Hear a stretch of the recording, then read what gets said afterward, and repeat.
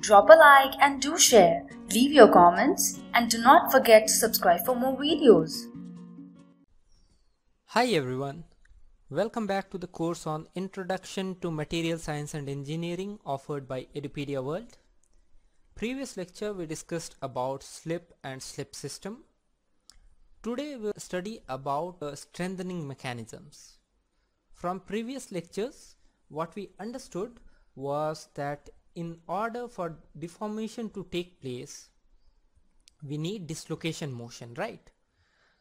So if by some mechanism or by some method we are able to make the dislocation of motion of dislocation difficult then what we can do is we can strength increase the strength of the material right? Because now to move the dislocation thereby to cause deformation we will have to apply more stress okay. So let us see the different strengthening mechanisms that are there.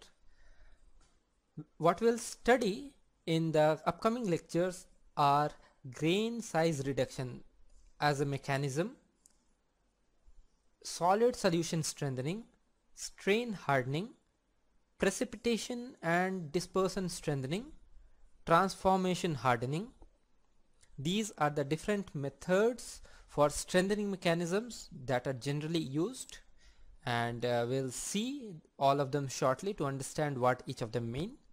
And as I said the idea is basically to provide hindrance to dislocation motion because movement of dislocation leads to deformation. If dislocation motion is restricted somehow then deformation will be slowed down or more amount of energy or more amount of load or more amount of stress will be required for the deformation to take place. Now let's uh, see each of them shortly before uh, jumping into detailed description. Grain size reduction is what will happen is that there will be grain boundaries which will restrict the dislocation motion. So this is basically grain boundary. I will be writing what are the factors which are affecting the hindrance to dislocation motion thereby increasing the strength. Solid solution strengthening is uh, solute dislocation interaction. We'll see in details but basically what is happening the solute and dislocation will interact and that will uh, try to hinder the motion of the dislocation strain hardening is basically creation of lot of dislocations. Thereby there is dislocation dislocation interaction. Okay. And dislocation dislocation interaction leads to reduction in the movement of dislocation or difficulty in the movement of dislocation. Precipitation and dispersion strengthening are there are precipitates formed or dispersed particles throughout the material and those things restrict the dislocation. So basically physically restrict. Physically restrict the dislocation motion. Transformation hardening is a completely different mechanism. That's not exactly a restriction to dislocation motion. So we'll see that later. Let's start our discussion in details with grain size reduction so as we have discussed in the previous lecture that uh, the grain boundaries are sites where dislocation motion is restricted. In the case of polycrystals as I discussed in the previous class suppose we have something like this and the slip plane let's say is in this direction and over here is in this direction so the slip the dislocation which is moving in this direction on coming at the grain boundary it kind of gets restricted because the slip direction is not the same in the adjacent crystal. So it has to there has to be a buildup of stress over here so that this dislocation which is at the grain boundary is either pushed into the next grain or the stress becomes so high over here that that leads to generation of new dislocations in the adjacent grain So that increase in stress is what is leading to strengthening of the material. Now imagine that you have two scenarios. In one scenario you have really large grains something like this and in another scenario you have very very small grains okay? So what will happen is that in the second case the dislocation will keep on encountering grain boundary after very small distances okay?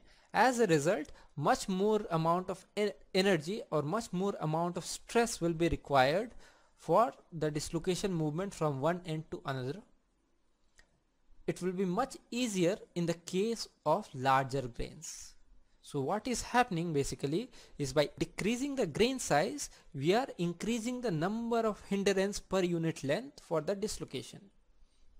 Thereby, by decreasing the grain size, we are increasing the strength of the material. Okay. Point to note is here is that high angle grain boundaries are basically uh, where the dislocation cannot penetrate from one uh, grain to another.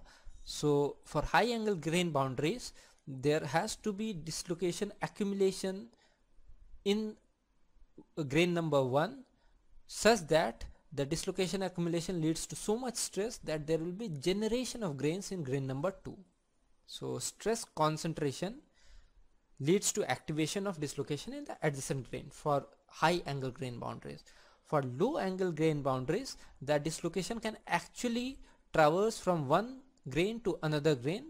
But in that case too there has to be sufficient stress for the grain to be pushed from one side to another side. But say this will be a less effective method to increase the strength. Because obviously small grain small angle grain boundaries means small mismatch so it will not be very difficult for the dislocation to move from one grain to another grain. But obviously it will also provide strengthening mechanism. Okay? Now the exact relation for the grain size reduction leading to increase in strength is given by what is known as Hall-Petch relation what does Hall-Petch relation say? Hall-Petch relation states that the final strength is initial strength. This is constant.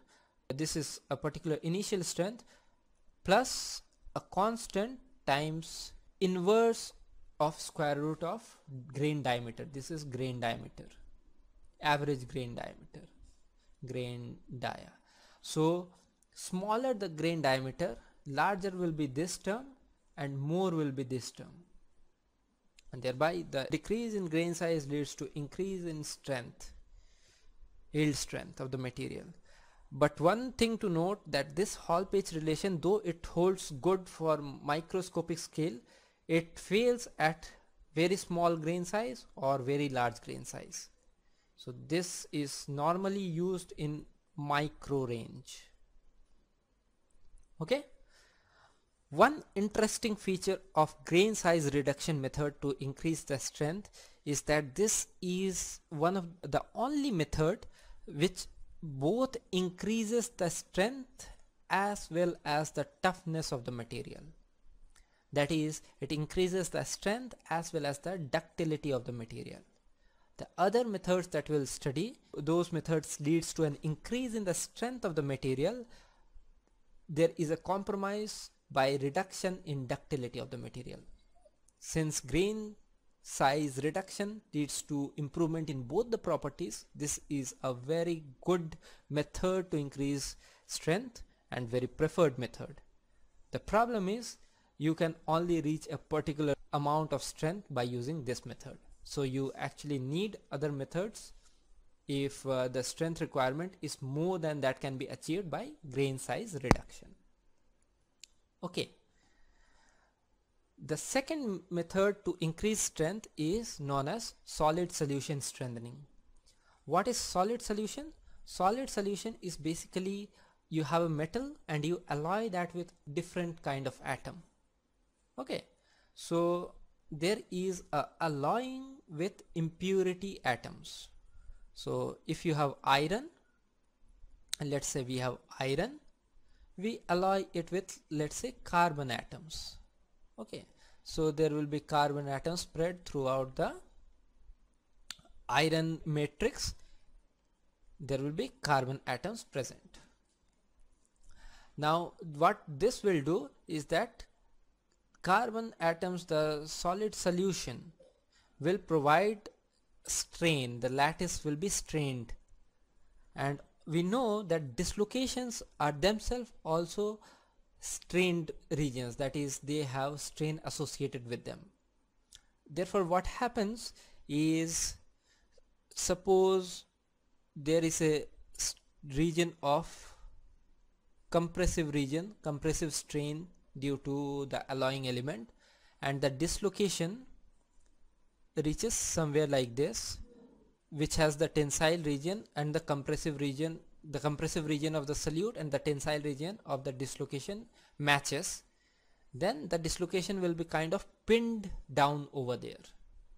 It will require much more energy to remove the dislocation any further from the solute particle. Vice versa if uh, the compressive region of the dislocation and the compressive regime of the strain due to the solute particles come close they will repel each other thereby the dislocation will again be it will be difficult for the dislocation to move.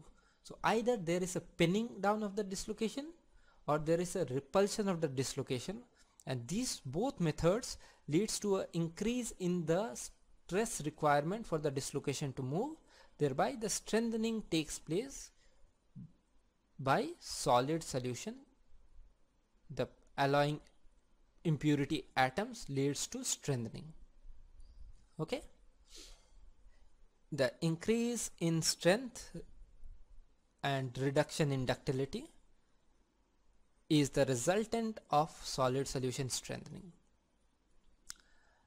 The strain field dislocation interaction. This is basically what I already discussed that if we have a dislocation here and if we have solute particles over here then this solute particles since there is the extra half plane missing here this solute particles would like to go there and this will pin down the dislocation. Thereby the dislocation will no longer be able to move. On the other hand if uh, the dislocation is coming close to solute particles over here then it will actually be repelled and the dislocation can no longer move in this direction. So this strain field due to the solute particle and the dislocation interaction leads to solid solution strengthening. Let's recap. What we saw in today's lecture, we saw the different kind of strengthening mechanisms that is possible to increase the strength. We discussed about grain size reduction how reducing the grain size leads to increase in strength because more number of uh, grain boundaries means more restriction to the dislocation motion thereby increasing in the strength. We have seen the solid solution strengthening that the solute particles kind of pins down the dislocation or they repel the dislocation to from moving further so this gives you idea about the different possible ways in which strength of material can be increased. Next lecture will uh, further drill down into the other methods of increasing the strength of a material. Till the next lecture, have a great day. Goodbye.